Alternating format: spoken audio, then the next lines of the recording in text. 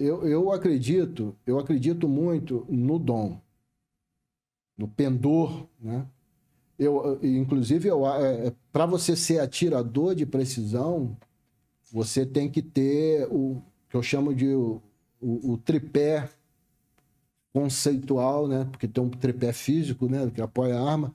O tripé do para você ser um atirador de precisão, que é primeiro é, você tá, está aparelhado fisicamente para aquilo ali. Não tem como. Um cara cego e sem os braços, então enxergando, o cara que enxerga tem os braços. Resumidamente é isso aí, o dedo que puxa o gatilho. O pendor e o dom, a mesma coisa, né?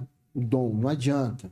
Se você for um cara treva, se você for um mequetrefe no tiro, não adianta, vai gastar munição à toa, vai gastar o dinheiro do contribuinte à toa.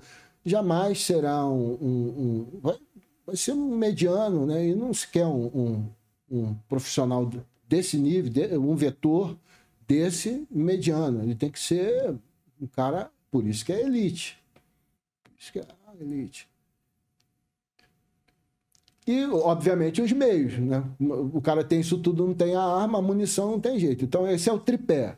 Essa, essa, essa Mas... frieza, controle de, de ansiedade, não, tudo isso. Aí... O, cara, o não. cara adequa com treinamento? Não. Você até desenvolve alguma coisa. Eu estou falando para você ser um atirador de precisão, você precisa disso. Para ser, quando fala assim, a, atirador de elite, é o caçador, é o sniper, que é a mesma coisa. Porque é a elite do tiro de precisão. Por que, que é elite? Porque é o cara que vai matar gente. Ele não vai ficar tirando em lata nem em papel, sem desmerecer, mas é cada um no seu quadrado. Então, aí precisa, além desse tripé reforçado, o cara tem que ter uma puta, do, uma puta de um, um puto de um condicionamento físico, porque carrega muito peso, né? E o condicionamento físico perfeito, ele sustenta, né? Tem que ter uma visão acima da média, né? E obviamente aí os meios, né? Aí é outra história. Mas ele precisa para integrar para ser um sniper ou um caçador, escolha aí a denominação que quiser, mas é a mesma coisa. Aí precisa de outros atributos você falou aí, né? Então, são, aí são mais atributos internos, da área afetiva mesmo que a gente costuma falar, né? Que é, é rusticidade, adaptabilidade, resiliência física, psicológica, para aguentar o tranco da missão. Para aguentar o tranco da missão. Para o atirador de precisão, o atirador desportivo, eu costumo dizer que todo o vento tá de, de popa, né? Tudo colabora com ele. Ele tem seu equipamento lá, selecionado, guardadinho, vai para um stand de tiro, de carro, chega lá, pega case, bota seu armamento lá, confraterniza, leva lá sua garrafa térmica com uma aguinha, um cafezinho, um biscoitinho, tal, ambiente controlado. Perfeito, é, é assim que tem que ser mesmo. Deita lá, ou não, vou fazer o tiro tal, não sei o que, tal tá de saco cheio, ah, porra, não, não vou para casa, né? vai para casa, beija a mulher, enfim, fica lá tranquilo. Já para o, o, o, caçador, não, tudo é contra. A começar pelo ambiente que ele vai atuar.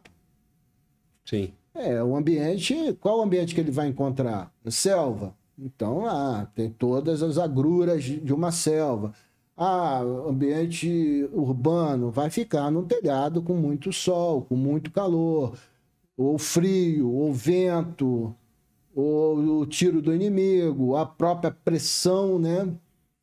Por, por comprimição, a incógnita do, do tempo que vai ficar. Ô, Marco Antônio, Sombroso, porra, a missão é a seguinte: tu vai se deslocar tal, e vai ficar em tal posição. É, Segundo o informe aqui, o teu alvo vai aparecer tal horário. Beleza.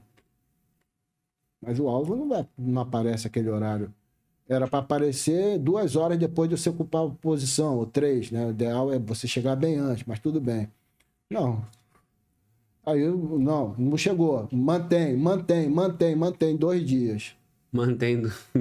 Entendeu? Então precisa, esse, esse profissional, esse vetor, ele precisa de atributos é, importantes da área afetiva.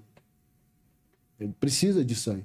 E para ser considerado no pau da goiaba, para ser considerado um caçador ou um sniper pronto, esse cara tá pronto.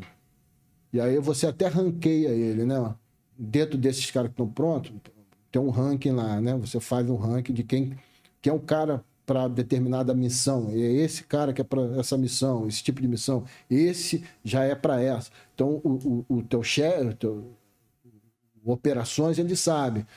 Para esse cara, realmente, você saber que esse cara está pronto, ele, aí, sendo rigoroso, ele tem que ter sido testado.